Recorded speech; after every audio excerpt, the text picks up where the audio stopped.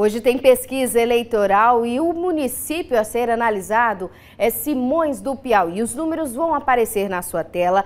A primeira cartela é sobre a avaliação da atual gestão, que é comandada pelo prefeito Zé Ulisses. Zé Ulisses é aprovado por quase 70% da população, mais especificamente 69%. Apenas 31% considera a gestão do prefeito não tão bem avaliada.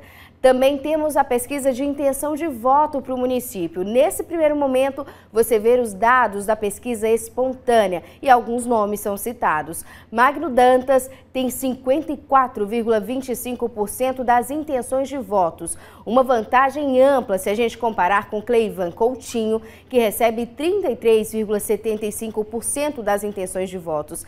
Zé Ulisses também é citado com 2,5%, Zé Sulino, 0,5% e o número de de indecisos, aqueles que não sabem ou não opinaram, corresponde a menos de 9%. Ou seja, eleição lá já está quase decidida se acontecesse hoje. Pesquisa eleitoral também analisou um outro cenário. Nesse caso, a gente confere os dados da estimulada, ou seja, os nomes são apresentados aos respondentes. Magno Dantas recebeu 58,25% da preferência do eleitorado continua com uma ampla vantagem. Cleivan Coutinho, da oposição, 36% apenas. Zé Sulino, 2,25%, não sabe ou não opinaram, 2,5%. Ou seja, Magno Dantas lidera a pesquisa e a disputa eleitoral de acordo com essa pesquisa que a gente acompanha hoje aí na tela. Tem uma outra pergunta, em quem você não votaria para prefeito de Simões? Ou seja, agora a gente analisa a taxa de rejeição dos candidatos. Cleivan Coutinho aparece à frente com 28,75%, ou seja, ele é rejeitado por 28,75% da população.